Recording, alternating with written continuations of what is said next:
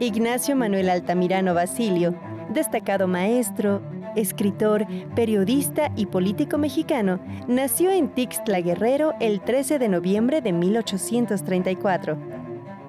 A los 14 años obtuvo una beca para estudiar en el Instituto Literario de Toluca, importante centro educativo donde impartía clases el maestro de ideas liberales Ignacio Ramírez el Nigromante, que se convertiría en su mentor y amigo.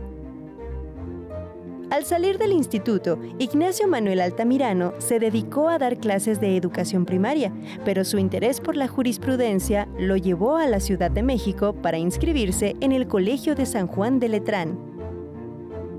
Sin embargo, al estallar la revolución de Ayutla, abandonó sus estudios. Su antiguo profesor, Juan Álvarez, dirigía el movimiento contra la dictadura del presidente Antonio López de Santa Ana y Altamirano se adhirió de inmediato a sus filas.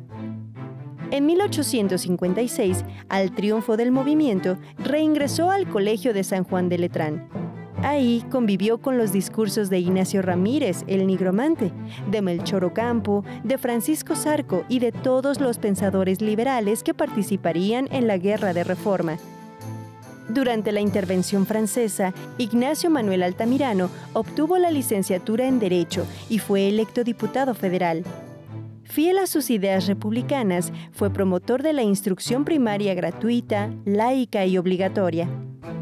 Reestablecida la República en 1867, Ignacio Manuel Altamirano comenzó a publicar importantes revistas literarias. Fundó el Correo de México junto a su maestro Ignacio Ramírez el diario La República, donde colaboraron escritores como Juan Amateos y Vicente Riva Palacio. Y la emblemática El Renacimiento, una de las revistas literarias más importantes en la historia de las letras mexicanas. Su obra abarca una amplia gama de géneros literarios. Escribió ensayos, crítica literaria, biografías, crónica, poesías, sus novelas Clemencia, Navidad en las montañas y El Zarco son obras clásicas de la literatura mexicana. Ignacio Manuel Altamirano fue uno de los grandes maestros de México. Su preocupación por la labor magisterial quedó plasmada en su más grande proyecto legislativo, la creación de la Escuela Normal para Profesores de Instrucción Primaria.